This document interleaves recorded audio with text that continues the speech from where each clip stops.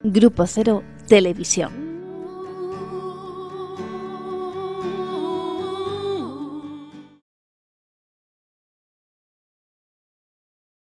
Muy buenas tardes. Tenemos el gusto de presentar hoy dos libros de Elena Trujillo, que van a presentar eh, Pilar Rojas, Confesiones de una marquesa, y Magdalena Salamanca, La vida y el gas. Van a hacer la presentación primero, luego eh, a Elena le dejamos la labor de leernos algún texto y eh, después ya veremos. Si se portan bien, algún picoteo habrá. Bueno que estamos muy contentos porque inauguramos la temporada de presentaciones de libros en la escuela con estos libros de Elena. Así que vamos a disfrutar, ¿vale? Venga. Vila Rojas. Muy bien. Madalena Salamanca.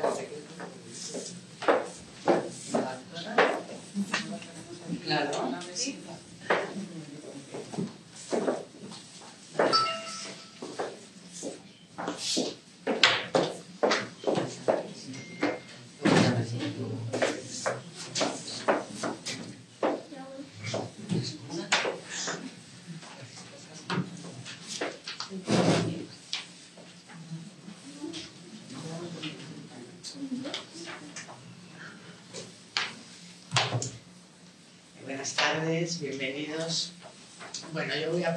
Presentar Confesiones de una marquesa, de Elena Trujillo. Eh, un libro de la editorial Grupo Cero. Estamos hoy aquí en la Escuela de Poesía y Psicoanálisis Grupo Cero para presentar Confesiones de una marquesa de Elena Trujillo Luque. Este libro compuesto de escritos fechados, la gran mayoría de ellos, que comienzan en Málaga la primavera de 2014, la ciudad de origen de la autora, y desde la que se traslada ese mismo año a Madrid, nos propone un viaje a lo largo del tiempo hasta 2021, cuando cumple 44 años. Un tiempo no solo cronológico, un tiempo, un tiempo no solo cronológico, sino un tiempo otro, con interrupciones, donde nos muestra fundamentalmente cómo el psicoanálisis y la poesía, haciendo carne en ella, transforman su vida.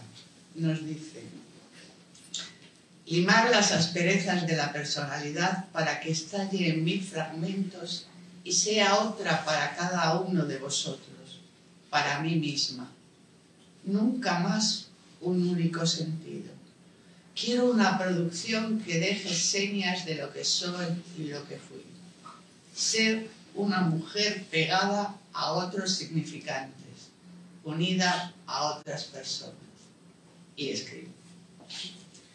Pero realmente su vida no hay duda de que nos ofrece datos concretos, pero sabemos que la vida del poeta es materia prima para su escritura y ella así lo hace para mostrarnos una manera de pensar la vida, una vida humana que es posible construir más allá de la determinación de la especie y más allá del destino que como mujer le está esperando desde la cuna.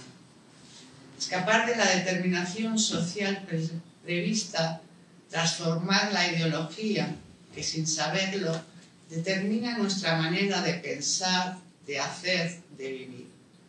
Una transformación que requiere un trabajo sobre uno mismo y en lo social con otros.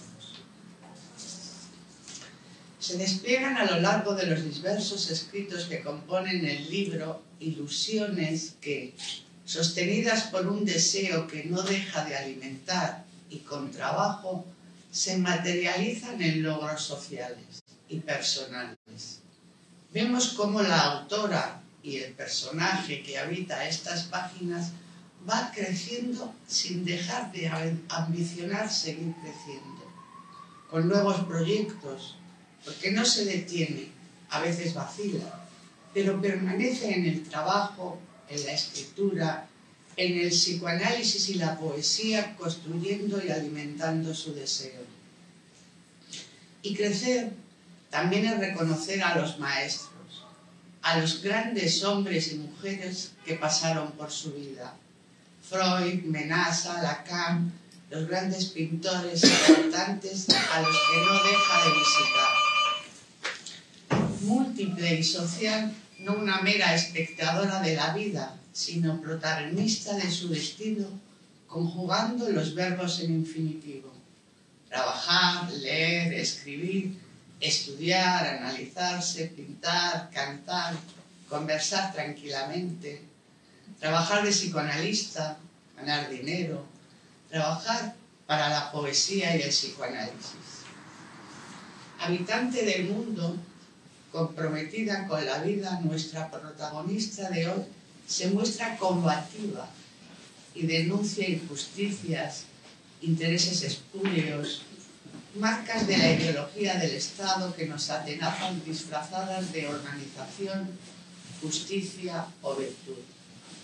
Combativa también con el papel de la mujer en la sociedad para la que propone un nuevo camino, otro de lo extraverdecido, donde la lucha de sexos o fratricida, la envidia, la venganza o la revancha no tienen cabida, porque sería continuar en lo mismo.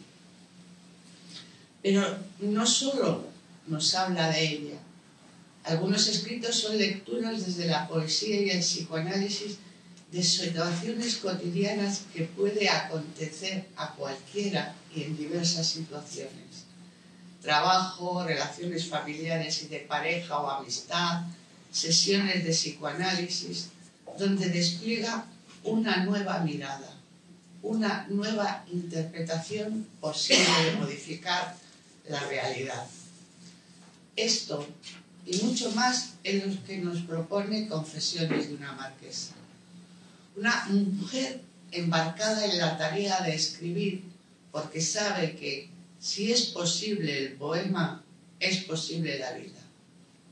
Hay generosidad en el acto de escribir y publicar, porque no se trata solo de mostrar, sino de mostrarnos que si fue posible para alguien es posible para todos y cada uno que se propongan entregarse al trabajo de transformar su vida. Y para mostrar eso, para terminar, lo haré con el texto con el que se inicia el libro, toda una declaración de intenciones de la que podemos leer de lo que podemos leer en él.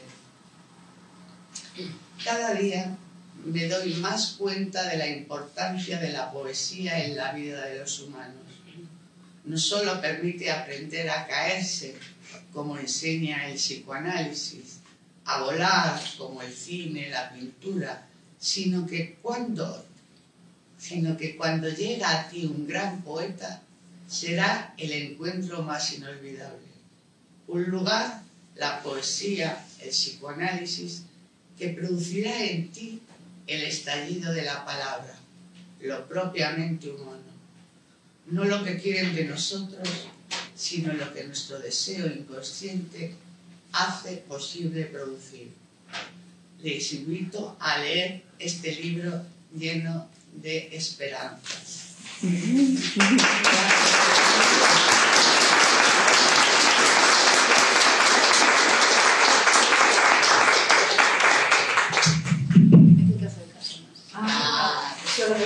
Eso, ¿no?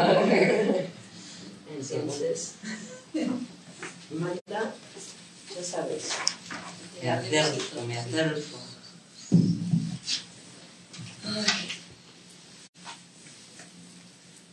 La vida y el canto de Elena Trujillo Luque. A ver qué nos depara, a ver qué nos depara la vida y el canto. Nacida en Benalmádena, Málaga, crece a las orillas de un verso, fortalecido por el mar y abrigado por el calor de la tierra. Elena nos muestra en este poemario cómo sus cuencas se han ido llenando de cantos y de vidas, a la par que su profesionalidad ha ido forjándose desde 1996 al amparo de la Escuela de Poesía y Psicoanálisis Grupo Cero. Reside en Madrid desde 1900 Uh, desde 2014. Desde Desde, 1900. desde que empezó, claro. Es que ha nacido varias veces, ¿eh? Ha nacido varias veces. Claro, nació eh, en el momento que están las cosas. Bueno. Reside en Madrid desde 2014. Y por este paso y otros tantos, ha podido ir construyendo para todos nosotros la psicoanalista, la poeta, la cantante, la mujer. Plena y exultante, exhibe sus conquistas allá donde la mirada alcance, pero en este último libro de poesía describe el camino. Nada más empezar, surge la incertidumbre. ¿Dónde acabaré? se pregunta. Y en esa duda, bien amarrada, se, se zambulle en el poema para excavar algunos de sus tesoros y así sorprendernos. Vencida por el contraste, mis pies anfibios se quedaron quietos, sin saber dónde ir, sin balsa de fuga, sin padre que se oponga a una hija marinero. Mujer y trabajo se revelan como posibles alianzas, aunque la lucha sea constante, incluso con uno mismo. Te quedarás sola como costumbre en esa jaula sin ideas, nos dice. Pero para la poeta nada es impedimento. La vida y el canto renacen en cada esquina del poema buscando el momento preciso para hacer su aparición. Quiere callarme, que reine su voz. No pasará. Mi boca, entrenada en mares de prestigio, puede con él. Con esta declaración de principios, deja las armas, se abandona al trabajo diario y a partir de este momento fabricará palabras para el amor desde cualquier perspectiva, abrazando la realidad y, y transformando todo en poema. Hay paréntesis en la vida, inevitables, pero la vida sigue y sus preguntas trabajan sus poemas para quizá en algún momento obtener alguna respuesta. Mientras, como tejiendo incertidumbres, las brújulas estiran las interrogaciones y la suerte nos dice encontrar la llave. Durante todo el poemario, como si se tratase de un hilo conductor, el amor habita sus versos. Amor como misterio que tolera casi todo, como inscritos junto al propio nombre, no confundidos. Un amor hecho escritura, algo inexplicable, libre de temor, aquel donde muere la intimidad, pero sin embargo, a la vez, soporta mil imágenes. Nos dice, amar es hablar. Y cuando las palabras toman tu voz, me vuelven una mujer que desconozco. Y en ese abrazo inconmensurable se descubre ante el maestro Miguel Oscar Menasa. Freud te impactó con precisión. Eres su mejor discípulo, forjado tu hierro en la poesía. Eres una explosión del futuro. Y desde ahí, desde el futuro, la voz de una cabeza resuena, aturde sus sentidos y un nuevo amor florece entre sus manos. El tango traerá a su vida el canto. Y desde este momento creará desde la ilusión una fusión perfecta. La alegría se une a la vida en la sorda longitud donde la voz alcanza lo indecible. Múltiples aplausos se amontonan en el balcón donde asoma a esta nueva pasión. Y entre el amor, el trabajo, el canto, la vida sigue. Y cumplir años se convierte en un poema para poder seguir viajando. Agarrada a esta máquina de fabricar destinos, la escritura vuelve como refugio a ser amante, compañera para una mujer que sin pudor une palabras que cruzan los océanos. y como un caballo sigue avanzando firme, con la crina al viento.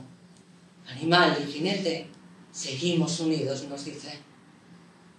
Amigos, familiares, maestros, encuentran dedicatorias en la poesía de Elena y los años vuelan un consejo para la mujer universal.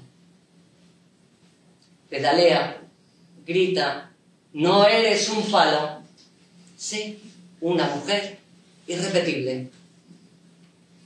Y de nuevo, el amor, esta vez a la ciudad que la cobija, Madrid, de la cual nos confiesa tuvo que enamorarse. Conquista constante que Madrid le agradece, que el mundo le agradece. Poeta expansiva, mediática, emprendedora, logra un amor con límites, ya que la vida también requiere sus interrupciones. Gracias, Elena, por la vida.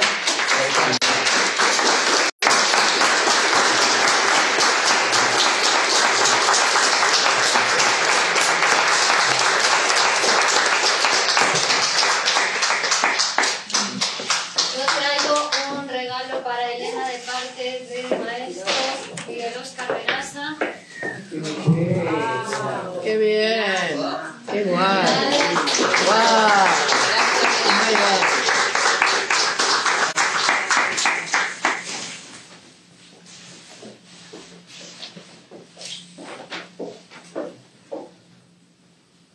Otro regalo más, es que Menasa hace muchos regalos.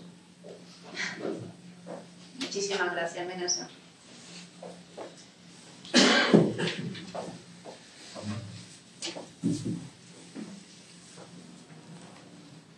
Muchísimas gracias,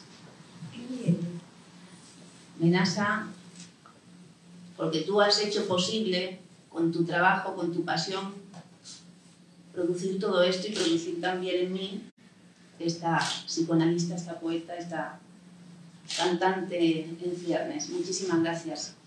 Y gracias a todos vosotros que hoy completáis un, un ramillete de compañeros, de amigos, de alumnos, de, personas que forman parte de mi vida. Eh. Hola, Concha. Eh, y que estáis aquí compartiendo pues, momentos de alegría y también momentos de compromiso en, en la escritura, porque eh, se trata de celebrar el compromiso que uno tiene que mantener y que se tiene que seguir mostrando en los próximos libros. Es la primera vez, por ejemplo, que presento dos libros o que publico dos libros en un año, eh, uno de narrativa, otro de poesía, llega el canto, llegan compromisos que requieren que uno se mantenga y para eso la mejor manera, la que me han enseñado, es vivir acompañado, vivir acompañado por por otros poetas, otros compañeros que también con, con, su escritura, con su pensamiento, te ayudan a, a, pensarte, a entenderte, y al maestro que con su escucha nos va indicando también esa templanza necesaria para tolerar pues bueno, las, las, los distintos momentos de la producción de un ser humano. Yo quiero leerles algunas eh, de los escritos, quiero que participen algunas de las personas que que han venido y que reitero mi, mi, alegría de que así sea, de que estén aquí, de entender que, que, eso que en mi vida se produce también en otras vidas tiene que producir otros efectos, pero que también tienen que engancharse en ese deseo y en esa realidad que, que el Grupo Cero nos propone y que está aquí. ¿No? Aunque este sea un significante, pero el Grupo Cero está aquí. Entonces también hay que aprovechar esa oportunidad que nos brinda esa máquina de, de, producción de sujetos para que en cada uno de nosotros bueno, tenga sus efectos. En mi caso yo quiero mostrarle algunos de los efectos. Los libros están a disposición de ustedes. Hola Kepa, bienvenido. Adelante. Eh, tiene que decir Carmen Salamanca, la gerente de la editorial Grupo Cero, una editorial que desde el año, si no me equivoco, 76, 78, se funda en Madrid, que permite que mm, publiquemos los integrantes de la escuela Grupo Cero, una escuela de poesía y psicoanálisis, publiquemos por un lado nuestros trabajos en, el estudio del psicoanálisis y por otro lado nuestras producciones poéticas, escriturales, que se consideran como una parte del currículum formativo de, de un psicoanalista. Entonces, esa existencia de esa editorial y ese mantenimiento hace posible pues, que haya esa base material también que nos permita mostrar cómo vamos creciendo y cómo nos vamos transformando. Si me permiten, vamos a leer alguna cosita.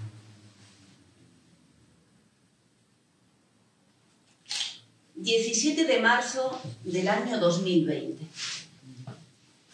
Estaré contigo cada día, en el rincón o las anchuras que me ofrezca el espacio de la escucha. Vacíos en el encierro, agrandan las dudas y uno se debate entre ese mundo de la imaginación que se encuentra en los libros, tiempo abierto para explorar vidas que uno no se animaría a encarnar. Otras oportunidades, en tobogán de fuego, nos sumergimos en un sueño de ojos abiertos, figuras sorprendentes que abrasan los abrazos y una nube grita nuestros miedos con jactancia. Vengo a visitarte. Te propongo movimientos gimnásticos, una lengua prodigiosa que aprende nuevos idiomas sobre uno mismo. Estrecho ese pasillo que tú creías tan ancho. Te enseño las distancias que separan tu brazo del mío. Poco podría yo desde mis páginas si tú no me abrieras la cinta de tus ojos para tomar un sorbo de este jardín de sorpresas. Algo se despierta entre los edificios. Hoy paseas tus movimientos dibujando alguna novedad. ¡Qué sorpresa! Que tu boca se aleje del mordisco y pinte con palabras el encuentro. El kiosquero, la terraza del café y los asiduos que ya te esperan como amante efímero que deja su huella en la fotografía del día. Puedes pasearte sin peaje en los gestos impresos de una nueva identidad. ¿Nos vamos? Acompáñame. No te frenes en el blanco y negro de tus citas. Traigo todos los colores que no huelen a muerto. Tengo aquí la lujuria de las palabras. Tu mejor viaje.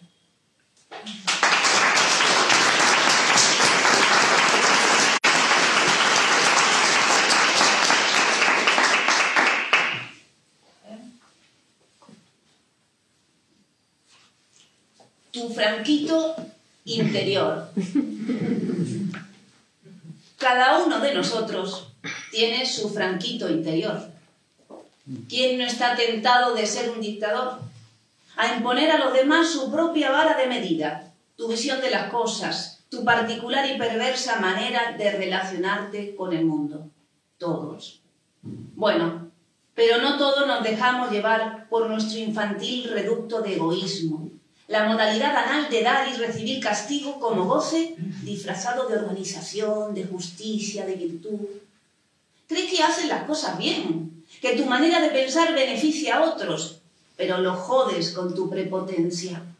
Entras en discusión, entrar en discusión es absurdo, porque tu pequeño franquito no quiere escuchar. Tu vocecita te dice que lo que haces está muy bien, y que los demás terminarán agradeciéndote que apagues la calefacción, que ahorres, que explotes un poco más al señor que trabaja. Te darás cuenta, bestia acorralada en las ideas, que lo grande está fuera de ti, se hace entre otros.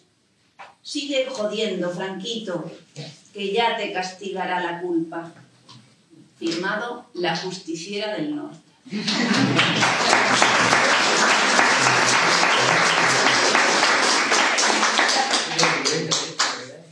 Bueno, aquí tienes algunas eh, felicitaciones de Gel Parra, Teresa Poil, Carlos Latorre, Arelis Juárez, Laura López, eh, Cruz González y aquí hay mensajes de Olga de Lucía que, eh, no ha podido venir, que dice muy bueno tus confesiones Elena, muy recomendable. Soy Olga en tablet de Virginia. Lourdes, que dice muy bueno, mi pequeño Franquito, Iván Hernández, manda también muchas felicidades, e. Cruz González, Laura López, Alex Pérez, eh, y creo que he nombrado a todos por ahora. Hay mucho más de los que se ven. Federico uh, Flucker, Bernal, Marcos Paya e Ana María Barleta. Pues un beso grande. Hay 20 personas para, aquí. Para todos todos ellos que me acompañan Reyes. Reyes Real Escritor. Ajá, vamos a ver. Qué bendición para ustedes de pertenecer a ese grupo y que han logrado el apoyo de esa editora. Ojalá así fuera en mi país, Guatemala.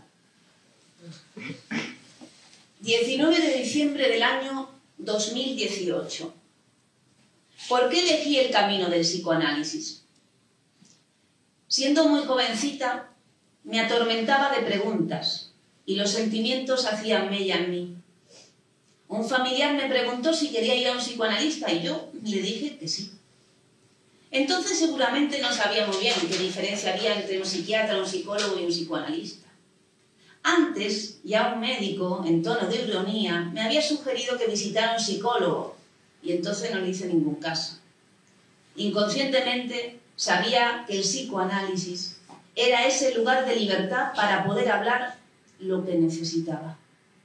Así, con 16 años acudí por primera vez a lo que me dijeron era la consulta de un psicoanalista. Empezó mi relación ininterrumpida con el psicoanálisis como paciente y después también como estudiante y psicoanalista. Han pasado más de 20 años desde ese momento. Ya hice las elecciones fundamentales de mi vida. Los cuestionamientos se modificaron y el estudio y el psicoanálisis me permiten aceptar el carácter complejo de las cosas. Los sentimientos son una moneda que ya no resulta útil. Lo escrito me irá diciendo lo que es válido e inválido. Con una posición ya en la realidad, más allá de los vínculos familiares, con entusiasmo, veo a jóvenes que, como yo, tendrán que decidirse a comenzar su propio viaje, modificar su posición en la realidad. Serán los continuadores, germen de una nueva generación que tendrá más fácil algunas cosas. En sus inicios se asociaba el psicoanálisis a gravedad, enfermedad, locura, medicina, y esa exclusividad alejaba a muchos de las consultas y de la lectura de los textos. Hoy, ¿qué seríamos sin psicoanálisis? Nosotros estamos salvados de una muerte traicionera. Moriremos, pero no de cualquier manera. Y algunas joyas dejaremos para los que vengan. Todo se consigue con trabajo y humildad. También el éxito en la vida.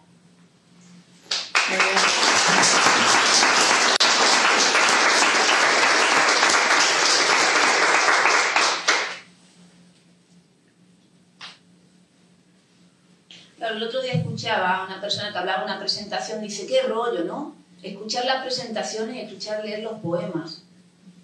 Claro, si, si, si a uno le parece un rollo leer eh, poesía, pues ¿cómo se puede llamar poeta? ¿no? Entonces, en el grupo cero pensamos que hay que leer, y que leer nos libera, y que leer nos, nos, nos genera cosas, ¿no? Y nos lleva a la casa con, con algún movimiento, con alguna cosa nueva. Entonces aquí se lee poesía. Vivimos un grave problema del que no somos conscientes. La sociedad actual, con la complicidad de gobiernos e instituciones y con el silencio de la ciudadanía, se niega a utilizar y promover los servicios de atención a la salud psíquica y social de la población. Es difícil para la mayoría acceder a las consultas de los profesionales. Se sigue ocultando los datos reales de la situación de la salud mental y los efectos de la represión que la represión tiene en las personas.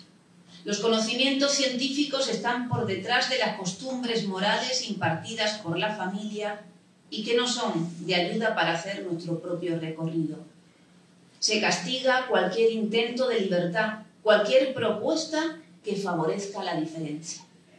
Somos testigos de la muerte de millones de personas que huyen de los conflictos que la colonización ha provocado, también de ancianos que son considerados por el propio Fondo Monetario Internacional y su presidenta como población sobrante. Nos informan a diario de suicidios de eminentes y millonarios artistas, actores, actrices, directores de cine, pintores, cantantes, que en lugar de ser ídolos y un ejemplo para sus seguidores y gozar de vidas privilegiadas, nos muestran el grave padecimiento del que han sido víctimas, la melancolía, el abandono de sí mismos, la pérdida de ilusiones de futuro, porque los han utilizado para consumir y hacer consumir, pero no les han ayudado a alimentar su alma. Todos, con nuestra pasividad, somos cómplices de la decadencia de nuestra época y del triunfo de la mediocridad sobre aquello que brilla y crece. La tecnología y el alto gasto en bienes de consumo, electrodomésticos, ropa, joya, bisotería, viajes, tratamientos estéticos, no llenan ese gran vacío que padecen el hombre y la mujer de nuestro tiempo. Acabemos con estos asesinatos. Alcemos nuestra voz y decidamos hacernos un bien a nosotros mismos. El ser humano, además de cuerpo, tiene deseos, contradicciones, necesidades afectivas que demandan satisfacción. Sigmund Freud, el científico más relevante de nuestra época, ya evidenció que el ser humano enferma a causa de la insatisfacción. Y por ello el psicoanálisis se muestra como el instrumento medio más eficaz para enseñarle vías que le permitan vivir con salud y dignidad el estatus humanos del que, como estamos viendo, tanto carecemos.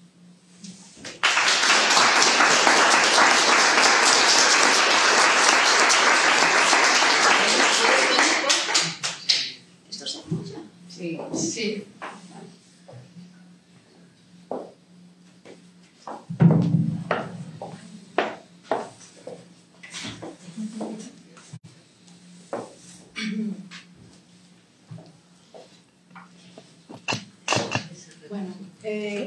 Compartir el, el escrito de la página 57, es sin fecha.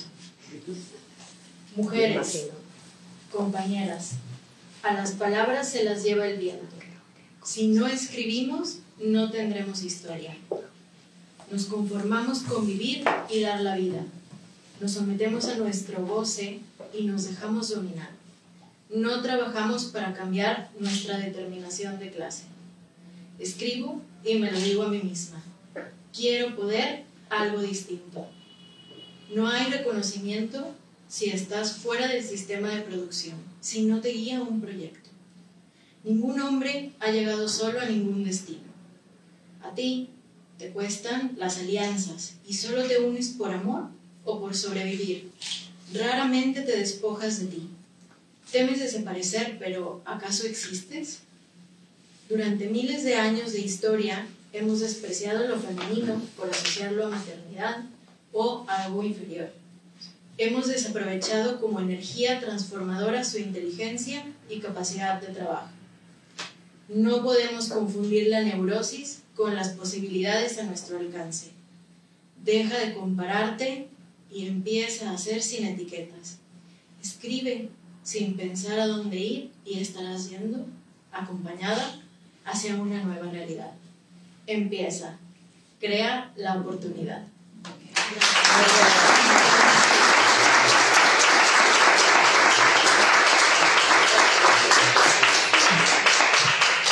Antonio y Mónica pueden venir. Antonio y Mónica.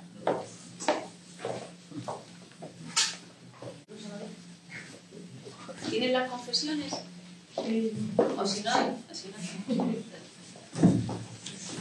Ya se han confesado previamente. Vale, entonces tú eres Don Facundo y la página es 70. Aquí. Página 70 y tú eres Adorapiés. 70 también. Si habláis alto, el sin fecha. Diálogo entre don Facundo y Adorapiés. ¿Qué más cuyas, Adorapiés? Nada, pensabas que si lo que tú llamas familia son aquellos que comparten tu sangre, pero nada saben de tu vida, ni de tus triunfos o dolores, si no están dispuestos a aliviarlos, no se tendría que llamar familia. O si llamas familia aquel que comparte tu apellido, pero te calumnia porque no sigues tus tradiciones, porque ya pusiste tierra de por medio, tampoco se debería llamar familia. Tiene su sentido Adorapiés. Tal vez a los que sentimos como familia son aquellos que, puestos en nuestro camino, comparten posada, comida y abrigo, y en días de bonanza festejan contigo hasta que se acaba el vino, compartiendo la copa contigo, no queriéndola beber a tu costa. Aquellos con los que a veces se disfruta una opinión diferente, pero hacen entretenida la tarde y te dan material para sus- tus escritos. Y si uno puede llamarse huérfano, tal vez deba plantearse su falta de generosidad y vicio de no tener nada para que ni un amigo te robe. Háblase visto. Hay de todo en este vil escenario, que ni una casa tienen para no convidar a un asiento cuando la tarde se pone fría y las tabernas están atestadas de gente. Sí, en estas épocas ya no se puede escribir ni pensar en las tabernas. La gente despilfarra el tiempo hablando de naderías y así cualquiera hace llamarse amigo. Estorbos, diría yo. No se comprende fácil a los poetas. Todavía hay quienes te llaman loco por cantar o reír. ¿Acaso está mejor visto hablar de desgracias y cotilleos de dinero? Miserables. Menester es no servir para nada. Así va el país. Menos mal que los poetas somos invisibles y solo podemos hacernos entender por otros, nuestra familia, como tú bien dices, amigo. Alguien que no te dora la perdiz ni quiere darte la cháchara por su torpeza, con su torpeza. A los poetas nos seducen las nuevas obras y releer los viejos libros. que nunca son viejos, no como esas costumbres bárbaras de reunirse para comer siempre lo mismo y reventar. Sí, a ver quién muere primero. Bueno, también somos de buen comer.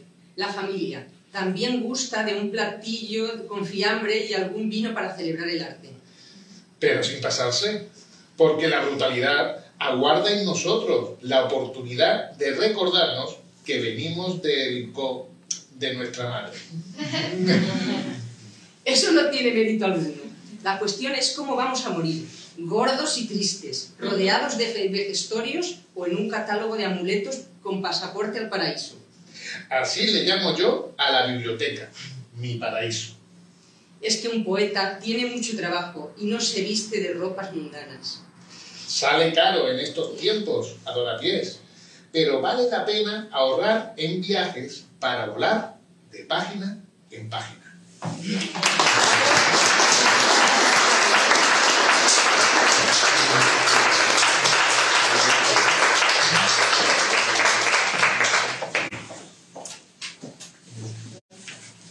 Maribí, ¿quieres leer algo? Vale. ¿De confesiones o de...? Leamos uno de confesiones y luego pasamos a... Este, por ejemplo.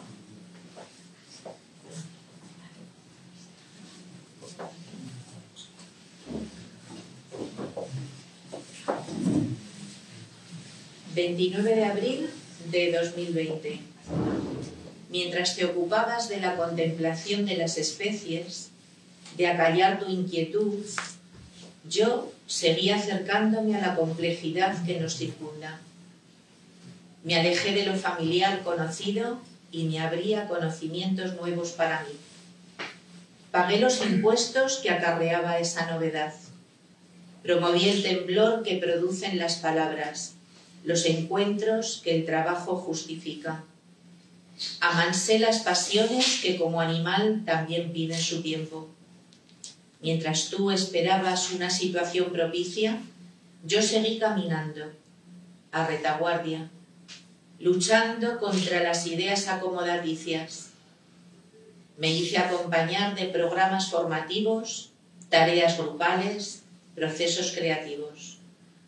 Vi crecer a mi alrededor hombres y mujeres fortalecidos por su constancia al despertar, la humildad de sus súplicas y el reconocimiento de que todo debe ser cambiado.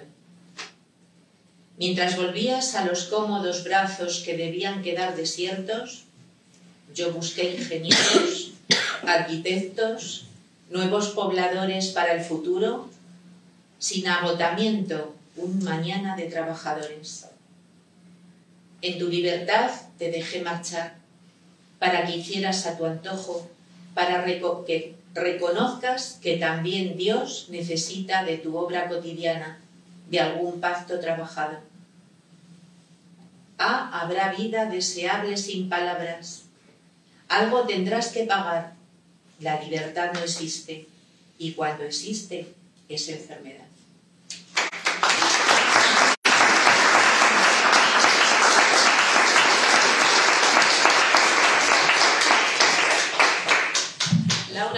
Tenías algo para la vida y el canto, ¿no? Sí. Adelante. Ya que has viajado de tan lejos. Adelante. Eh, tengo un poema que he escrito para, para mi, mi querida maestra y admirada poeta, que es mi, soy una integrante del taller de poesía. Y entonces pensé, cómo mejor honrar a la poesía y además la poesía de Helena que con un poema. A ver, tu poesía. A veces me faltan las palabras, las del mundo, las que abren, las que exploran, las que emocionan. Y hablo vacía, con mis pensamientos retenidos, estreñidos del mundo ya conquistado. Y hoy hay que hablar de tu poesía, de las palabras que nos devuelves, de aquellos frutos sabrosos y exóticos que traes de tus viajes fuera de este mundo. Ah, caballero, que las quiere probar. Están acunadas con delicadeza, en versos inversos, en reflejos perplejos, en una frase deformada y en un punto sin fin.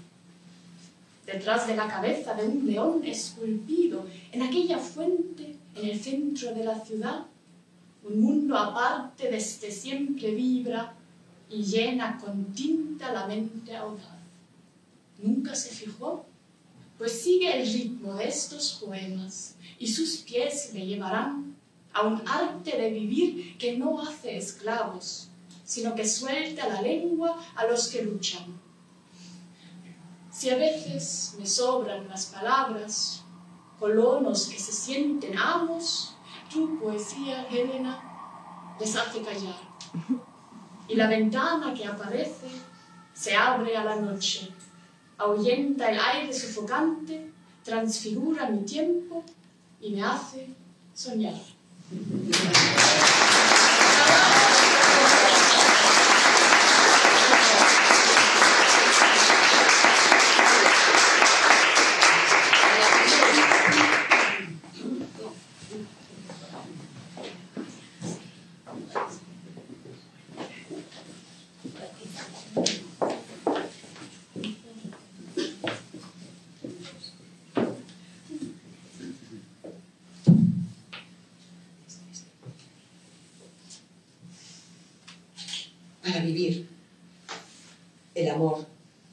Sexo y el dinero están ahí al alcance de todos. Miguel Oscar Menasa. A trabajar, a fabricar palabras para el amor, a convertir los sueños en naves forasteras. Anunciamos nuevas posibilidades, trabajo para soportar el ocio. Todavía los poetas abren cabezas en las fábricas. Hay obreros que han olvidado la miseria y conocen autopistas donde los muertos se visitan en familia como paquete turístico. Hoy no se siembra en el próspero campo. El tiempo es barato y los cables aprietan. Los dientes no están ya afilados. Hay quien lucha como niño de teta. Trabaja día y noche no te duermas. El amor pide la siesta, la siembra diaria. No te confundas. ¿eh?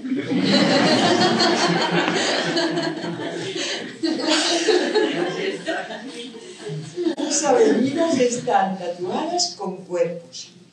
No agotes tu sangre antes de tiempo. Nos han hecho miopes para no ver los pies deformes, la delgadez de las ideas, los esfuerzos magníficos. Busca un mejor colchón, una vida digna.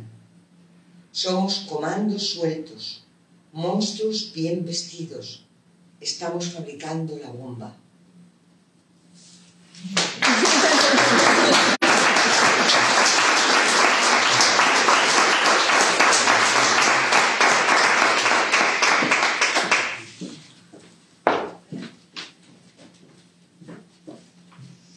Bueno, y el libro se llama La vida y el canto. Y esta va dedicada a mis vecinos. El odio llama a la puerta. No quiero abrirle. Estoy fabricando voces altivas, silencios medidos por la música. La puerta se opone.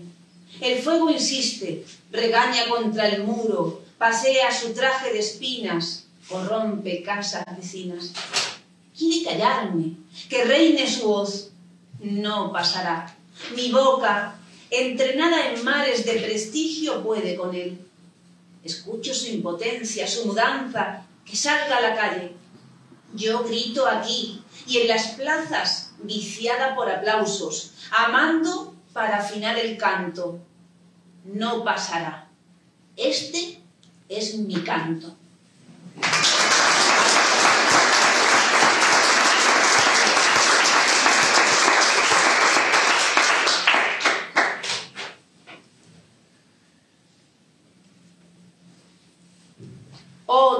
Otra, otra. Fuiste, amor, a las observaciones terrestres, cuerpo cautivante, palabra enojosa, ocaso en la distancia, luces parpadeantes, cámaras innobles, miradas penetrantes y sabrosas, oídos verde esmeralda, pícara sal, tango amargo y soñado tango. Lo mejor, lo nuevo, lo que sí, lo que no. Pasa ahora contigo abocándonos, escrutándonos, llegando al filo de la mesa plato barriga. Mmm, c'est délicieux. Así de golpe acabó la botella seca, las gargantas túnicas del gogo. Lávate la boca, niña, que no me enteré yo que pasas hambre. Ven a la mansión la orgía del cabaret. Los papeles en regla, libre concepción. El que quiera que repita el estribillo. Otra, otra. Esto es de no acabar.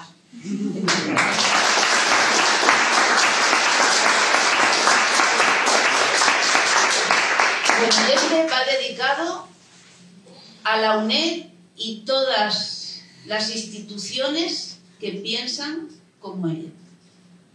Fui a ver a Platero. A aquel hombre le encontré cegado por luces de carretera, torpe en el cultivo de labor, con el rancio olor a mentiras viejas, obcecado en su máscara. No ve a Platero sentado ya en su luz de estrella, ajeno a esas páginas viejas de envidias. Fui a verlo, a su rincón tranquilo. Platero me recibió con aquel baile de orejas, su rabo peludo y expresivo que los niños mojamos alguna vez de lágrimas. Siempre nos entendimos a la perfección. Él con su rebuzno, yo con mis paraísos caídos. El burrito, más sabio que muchos, sigue reposando, dejándome cohabitar su cubil de bestia. Hoy no estoy para celebraciones. Me han insultado platero, burra me han llamado. Me asustan con un palo y no tienen argumentos, me ponen cadenas y son ellos los que insultan. Encontré blasfemias cuando esperaba alumnos. ¿A eso le llaman universidad?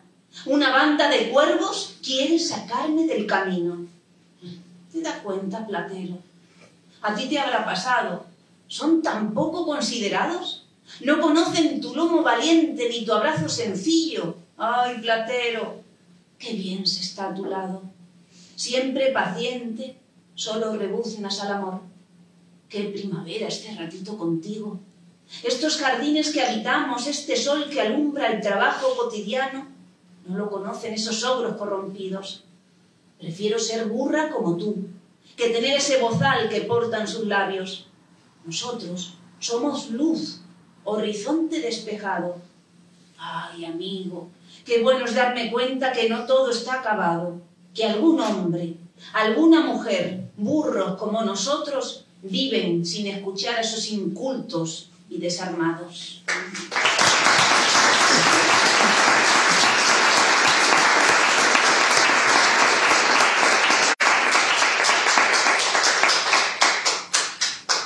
Hay una locura en mí, que que haya confesado. ¿eh? Hay una locura en mí que busca espacios habitables, metros cuadrados, aperturas, amplias paredes. Calculo novedades, un chollo merecedor de encontrarme.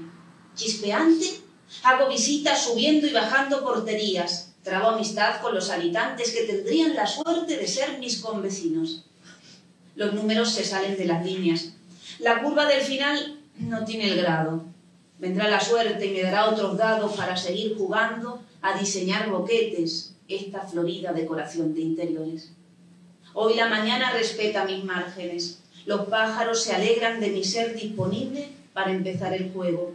Mis píos todavía no suenan como en árboles. El balcón estrecho, el frío aprieta mis músculos, mas ellos, tan ligeros, con su abrigo de plumas, me devuelven el canto de otra mañana disponible. Ninguna desolación arrasa esta propagación de sueños. Los brazos comienzan un baile de músculos y el suelo, pegado a muros de memoria, se despega sin apuro, mientras yo canto y vuelo con mi locura de casas y de números.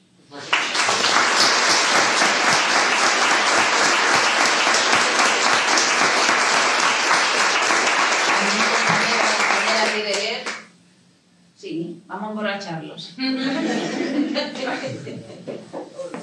Agradecer a Virginia que su compañera también escribió el prólogo en Confesiones de una Marquesa. Y que mañana estaremos en el teatrillo el Grupo Cero, porque aquí no nos dejan cantar, pero en el teatrillo mañana, mañana prepárense.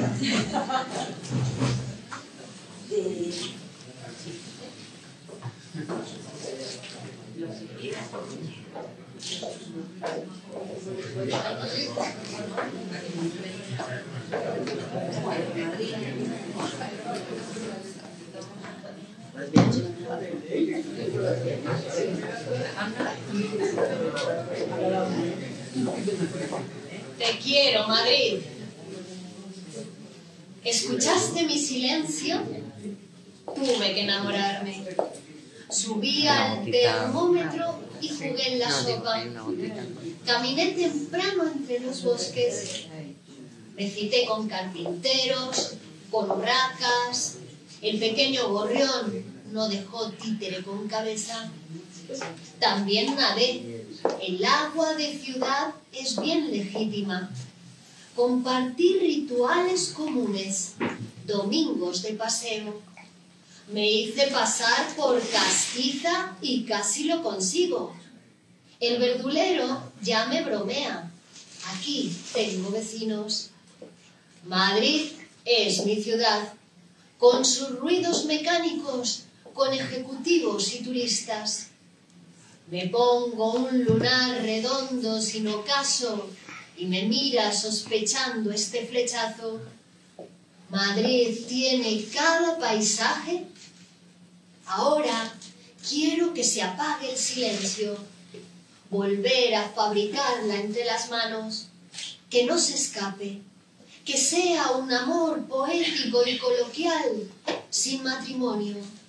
No vaya a ser que algún día de este corazón broten nuevas patrias, otros destinos.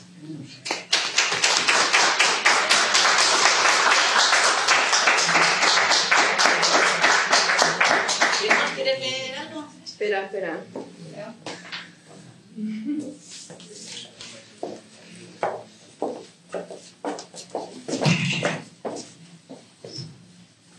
La doctora que nos mantiene así de bellos y guapos. Las aguas. El caudal está fresco, se derrama en su canal de parto. A mis pies su limpieza agita mis ansias de marino. Mi bote no es muy sólido, le basta deslizarse por las olas cuya caída desconozco. En casa me echan mil ojos. La excursión no tiene pasaje prolongado. El reloj se interrumpe por la llamada a puerto. Temen que el traje de almirante cruce más allá del mediodía. Una tarde, cuando las cuatro caían en mi vientre, abandoné la tripulación a su suerte, dormidos por la digestión y la pócima de uva que estimula los sueños, cogí dos mendrugos de pan y unas galletas y atravesé los muros cerrados para una niña buscando una embarcación mejor para mis juegos. Cegada por el sol y el miedo, sola, sin miradas protectoras, pisé la seca tierra sin manantial de flores ni agua de bienes. Vencida por el contraste, mis pies anfibios se quedaron quietos, sin saber dónde ir, sin balsa de fuga, sin padre que se oponga a una hija marinero.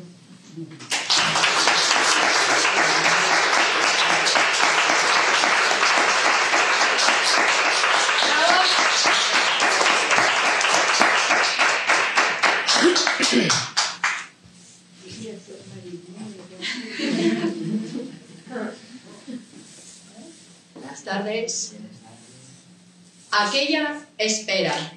Tiene un epígrafe de Vicente Alexandre que dice, la dicha sosegada transcurre como un placer que nunca llega al colmo. Esas piernas despiertas como rocas, desnudas aún de abril, se esconden en el escalón como esperando un dueño, un placer sin colmo, un bosque domeñado al abrazo de unas manos. Aquellas que subieron por los años como en un parque hermoso, la rosaleda que inunda de aromas el recuerdo de otro jardín de esencias, frondosa sal que tensa la pólvora, la corriente que estruja la última gota. Así, con procesión de hormigas, con picnic de turistas, con verjas a lo lejos, abriremos las piernas, las bocas, la vida entera para llegar al borde de este colmo. Y adorándote en un palacio donde bailan los libros, mis manos esperan tu marfil poniendo notas a este silencio que quedó prohibido.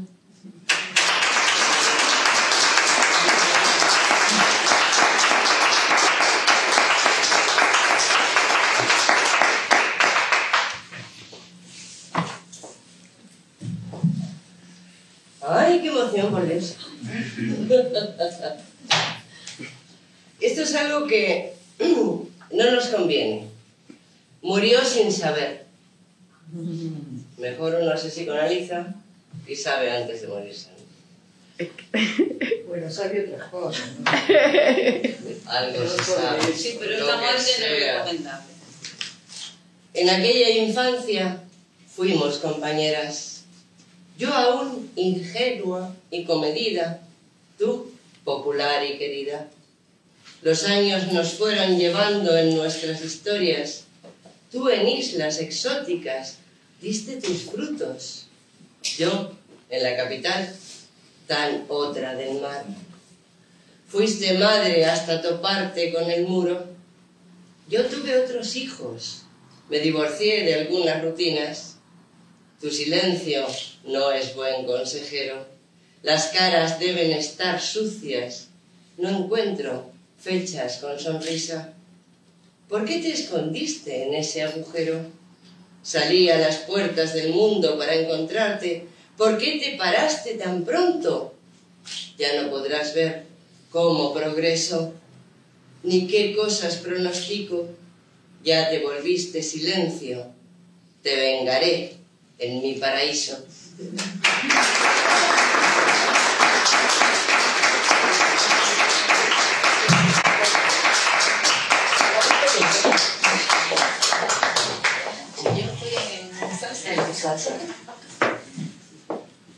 ¿Eres el amor? Tu cuerpo se cimbrea con las olas, Nereida que se levanta encendiendo el mundo. Agito las raíces, amantes algas de tu colapez, afirmándome en la voluntad de amar. Sumisa a tu canto, me aferro al misterio. ¿Eres el amor?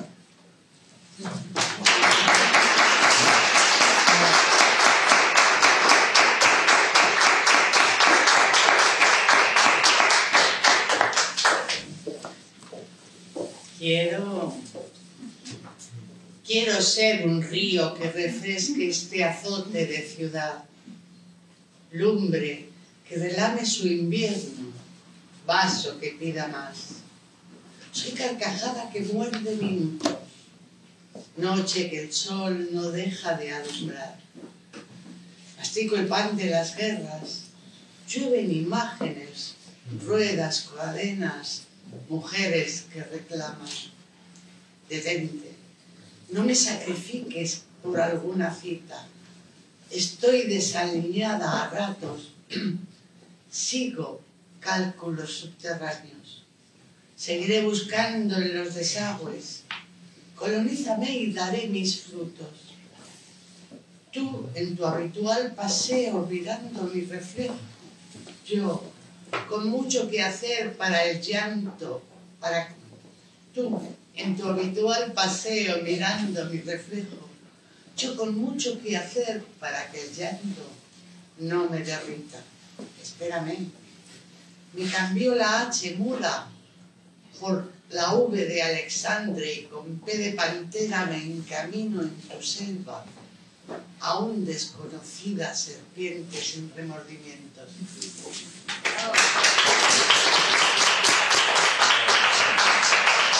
Para terminar, Cuidado, cuidado, para terminar y que podamos comer y beber Y firmar y libros. firmar libros. Testamento vital. He fallecido. Mis cartas ya no me saludan. La nube me es indiferente al cabello y un caballo en la azotea no me parece homónimo a un tinte de ceja dispuesto a matrimonio. Mis narices juegan con las hojas de este viento que chorrea. Se han desprendido las rocas de mi cuello y los brazos no los necesito. Quedaron sujetando algún secreto. Esos libros son pocos. Todavía hay huecos. En el trono no me han visto sacudir las pulgas. ¿Dónde está la carcajada que guardaba en una fiambrera? Traigo un ojo izquierdo que me encontré en el suelo. Estoy al borde del precipicio, atada a un sueño. Con teclas ordenadas a su antojo, poco puedo yo. Aquí dejo unas cenizas y hierbas y una alfombra discreta. Y voy tras ese océano que pinta el horizonte. Quiero jugar a las mareas, tenderme en un zapato y remar sin horas sobre los cuerpos que también suplican. Dispersa, con alma vegetal, sin pompa fúnebre, vistiendo ropa dominical en mi verano sin nubes. Mañana haré números y alguien querrá quemarme para guardar luto por la ausencia y dirá que me ama. Cada uno que críe lo que pueda. Tengo mi propia catedral y turistas. Fabrico recuerdos. Perdí el miedo a los naufragios. Siempre encuentro Robinsones con menú de gaviota. Quédate en tu isla solitaria. Tengo un almacén de palabras.